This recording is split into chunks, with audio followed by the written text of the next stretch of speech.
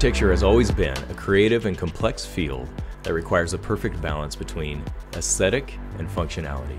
In recent years, the integration of artificial intelligence in architectural design has brought a new era of innovation and efficiency. Full disclosure, I asked AI to write that introduction paragraph for me.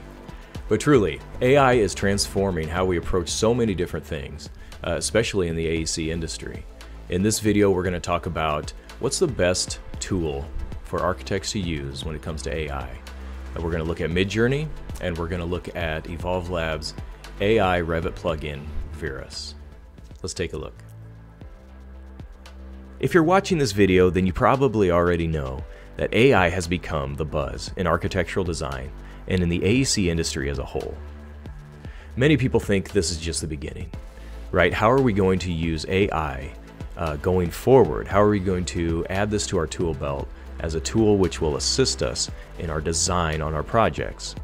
Many people are using tools such as Midjourney and ChatGPT already, but what's going to be next? And how are architects using these tools right now? One thing that we hear a lot is that architects are using it for ideation and inspiration. You know, you ask AI, you ask Midjourney to uh, create a rendering for you of a certain type of building or a certain type of facade, and it might inform your design as you start those preliminary stages of your project. So I'll open Midjourney, um, and you can see that as I prepared for this video, I did some test images, just feeding it uh, various text prompts, and it's really a lot of fun to use. And it's a great way just to ideate and to get that creativity flowing a little bit. Here's an image that Midjourney gave me that is more of a technical drawing, so who knows what the future holds uh, for that. But as I flip through some of these, you can see the results with some quick prompts that I entered in. Some of these I actually asked uh, ChatGPT to create the prompts for me, which was interesting um, and provided some different results. This is one of those where uh, I, I asked for a, a, colorful community center, and this is what it gave me. Um, it's kind of cool. Here's more of an organic parametric building in a downtown bustling setting.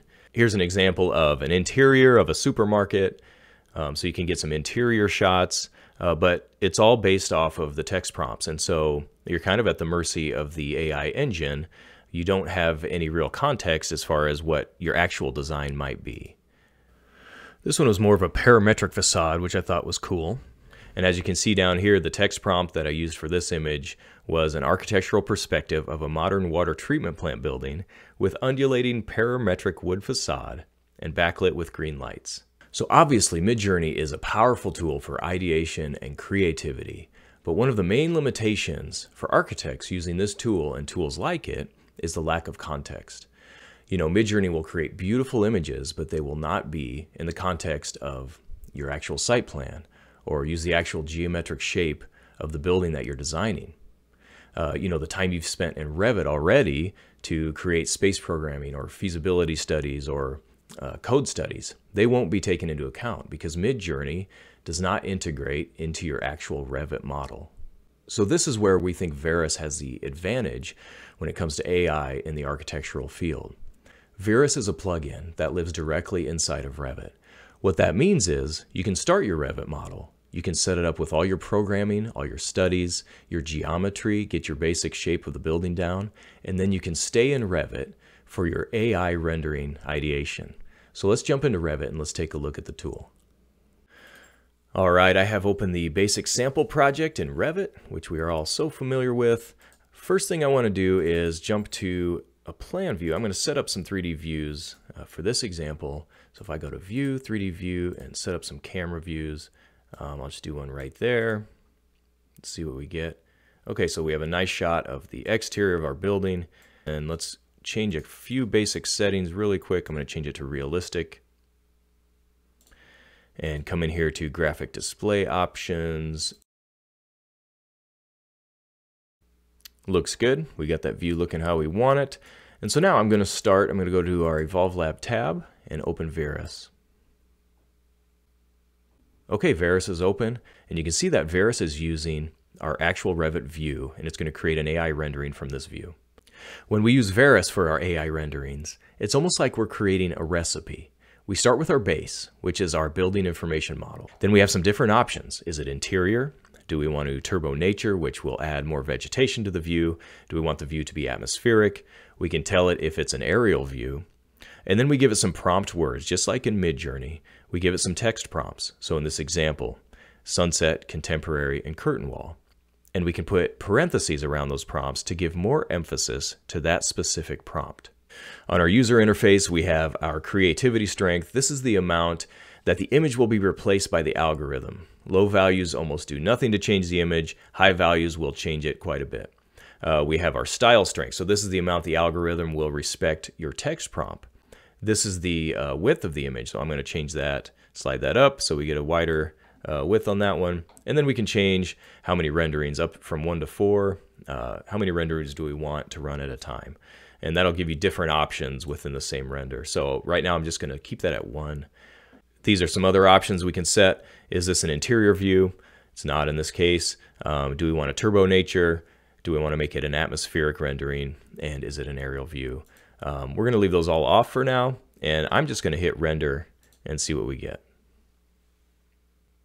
All right, so even without any text prompts, um, leaving these settings just how they are, Veras created an AI rendering.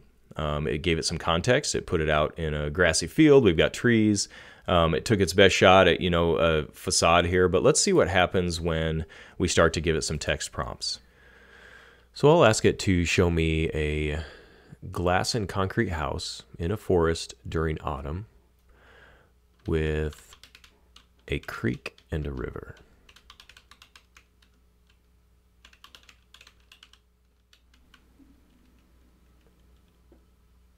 And that one looks really good. I think I'll render one more of those.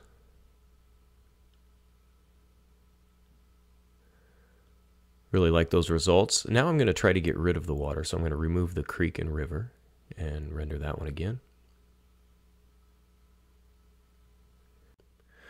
I like how these are looking. I'm going to go ahead and render another one of those. And this time I have atmospheric turned on. We'll see how that affects the image. All right, now you can see it's kind of a foggy image. We turn on the atmosphere. I'm going to toggle on Turbo Nature. Here are several other images that I got from Veras, giving it uh, various user prompts and settings, all from this plugin that is directly within Revit, which is a huge advantage because most of us are working in Revit anyway, and it just streamlines everything and makes it that much faster to get great results. So this is a lot of fun and very addictive, and you can run through a lot of different options in a short amount of time. Let's see how Veras does when we're using it for interior design. So I'm going to jump down here to level one and just create a new interior view using the camera, something like that. All right, so here's our interior view. Once again, I'm going to come through and set up some of these basic settings uh, within Revit.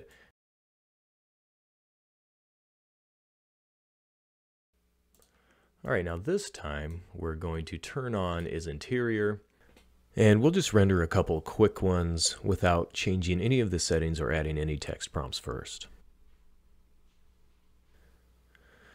Those look really cool.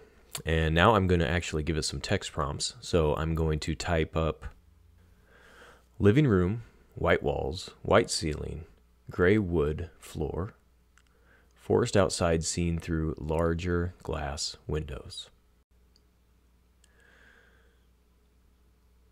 And once again, here are a few different uh, images that we got from Veras using those same prompts and those same settings.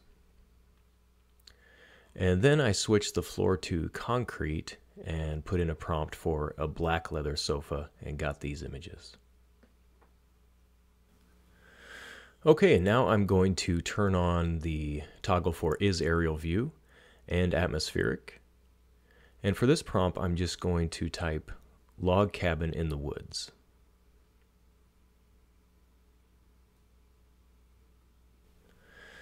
And here are the results we got using that prompt. And then we change the prompt to, say, beach house on the coast. And we get some really great results from that too.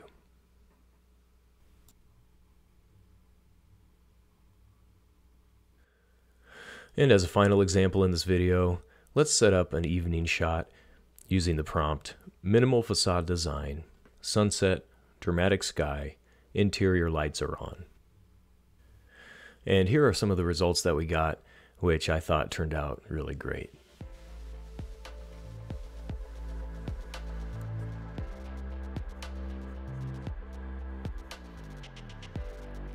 Hey, thanks for watching this video. I hope it was informational. I hope it was helpful. We're going to be taking some deeper dives into Veras and some different workflows. Stay tuned for those videos. In the meantime, if you'd like some more information about the product, check out our website, evolvelab.io. Thanks, have a great day.